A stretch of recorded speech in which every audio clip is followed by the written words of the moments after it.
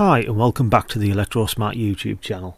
In today's video we will show you how to enable or disable the smart light on a Dahua full colour camera.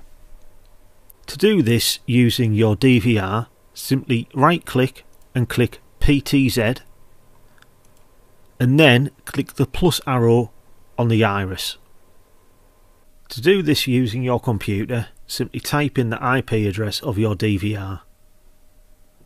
The default IP address on Dahua products is quite usually 192.168.1.108. Click on Live View. Select the camera which you want to change.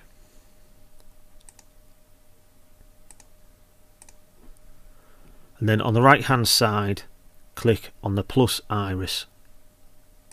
This will load the main menu of the camera using the up and down arrows go down to light. As you can see it's set to smart light.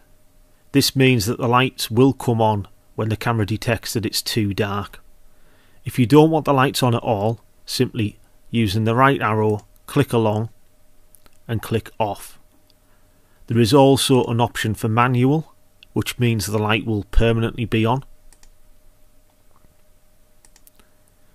So to make the light off, simply go to off, go down to exit, click the iris plus again. It'll ask you if you want to save, click iris plus. The light will now be disabled.